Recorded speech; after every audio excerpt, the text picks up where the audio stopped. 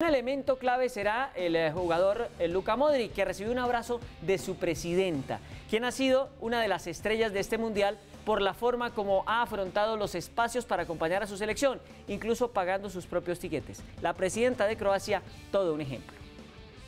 La presidenta de Croacia, Kolinda Grabar-Kitarovic, ha demostrado ser una hincha fiel, pues pagó el viaje a Rusia con su propio dinero y pidió vacaciones no remuneradas para disfrutar del equipo ajedrezado. Por esta razón, la dirigente se convirtió en viral en las redes sociales al punto de llegar a ser confundida y comparada con otras mujeres. Kitarovic ha estado de cerca acompañando a los jugadores en su proceso, incluso en el vestuario.